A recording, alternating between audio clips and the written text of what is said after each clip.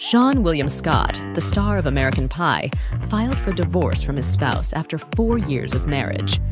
According to The Blast, the 47 year old actor filed for divorce from interior designer and wife Olivia Korenberg in Los Angeles County courts, alleging irreconcilable differences.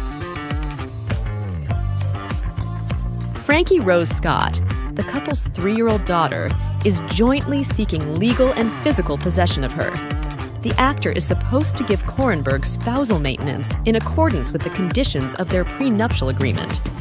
On September 19, 2019, the couple tied the knot, but they kept it quiet, and word of their union didn't spread until later that month.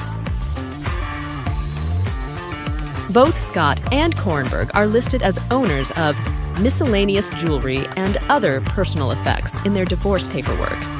Furthermore, the records indicate that all funds earned and saved by Scott prior to, during, and following the divorce are his property.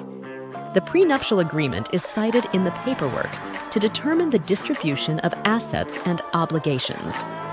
In line with the prenuptial agreement, debts and assets considered to be community property will also be divided.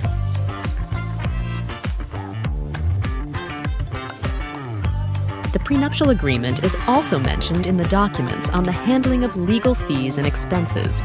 It states that they will part ways on October 2nd, 2023. In 2019, Scott revealed to Us Weekly that he had been dating somebody, albeit he would not reveal who it was. Scott described his great girl as his secret sweetheart. Additionally, he said that despite being a pretty private person, he is super happy in the relationship. Prior to his marriage, Scott confirmed in 2012 that he was engaged to model Lindsay Frimodt. He joked to E! News.